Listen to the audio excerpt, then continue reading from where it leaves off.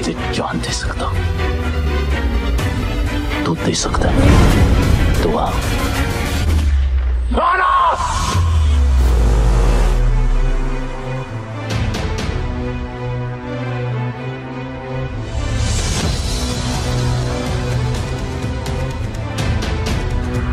आज इंतज़ार और तू दोनों खत्म होंगे।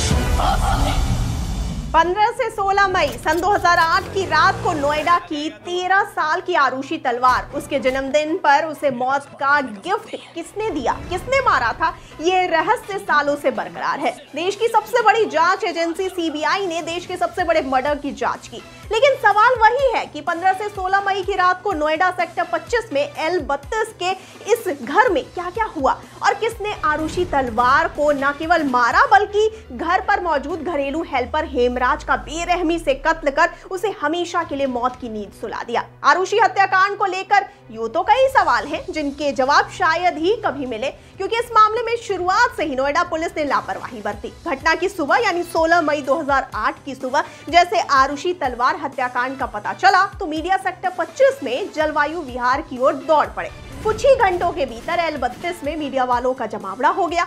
इस दौरान मीडिया वालों के साथ आम लोग भी बेझिझक एल बत्तीस के भीतर दाखिल होते रहे। ज़ाहिर है, इस दौरान सबूतों के जाने अनजाने और चाहे अनचाहे छेड़छाड़ हो गई नोएडा पुलिस ने अलर्टनेस तो दिखाई, लेकिन तब तक बहुत देर हो गई थी। आरुषि की हत्याकांड के चंद घंटे के भीतर ही नोएडा पुलिस की ओर से इस तरह का इशारा दिया गया कि घरेलू हेल्पर हेमराज ही एक्यूज है और वारदात के बाद वो फरार हो गया। इसके चलते नोएडा पुलिस की कई टीमों ने उसकी तलाश तेज कर दी। यहाँ तक कि पुलिस की एक टीम नेपाल तक जा पहुँची, जहाँ का हेमराज निवासी था।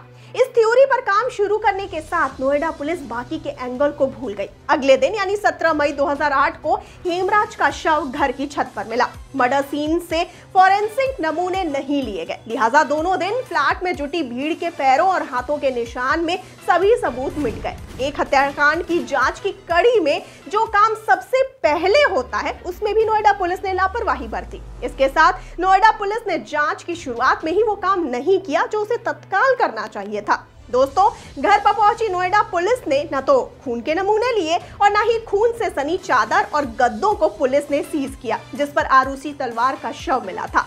नोएडा पुलिस अगर 16 मई 2008 की सुबह छत पर जाने की जहमत उठाती तो शायद जाँच की दिशा ही बदल जाती। दरअसल, नोएडा पुलिस ने मान लिया कि हेमराज ही आरुषि तलवार का मर्डर करके फरार हुआ है और एक झूठ मर्डर का इल्ज़ाम उस पर लगने वाला था, जबकि अगले दिन उसकी लाश छत पर मिलती है। दोस्तों, हैरत की बात यह है कि नोएडा पुलिस ने घर की छत पर जाने वाली सीढ़ियों पर गिरे खून की बूंदे तक नहीं देखी। वहीं छत के दरवाजे और उसमें लगाए ताले पर भी खून से सने हाथों के निशान साफ़ साफ़ दिखाई दे रहे थे।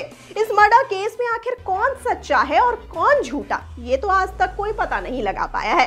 लेकिन एक झूठे मर्डर केस की वजह से कितनी मुश्किलों का सामना करना पड़ जाता है और कभी कभी पुलिस की लापरवाही क्या मुश्किलें खड़ा कर देती है, ये कोई नहीं जानता। जहाँ पहली फ़िल्म में हमने देखा था कि कैसे एक झूठे मर्डर केस में इतनी मुश्किलों को खड़ा कर दिया गया था। तो क्या लगता है आपको? क्या ऐसी ही कोई कहानी हम देख सकते हैं दिलवाले फ़िल्म के सीक्वल में?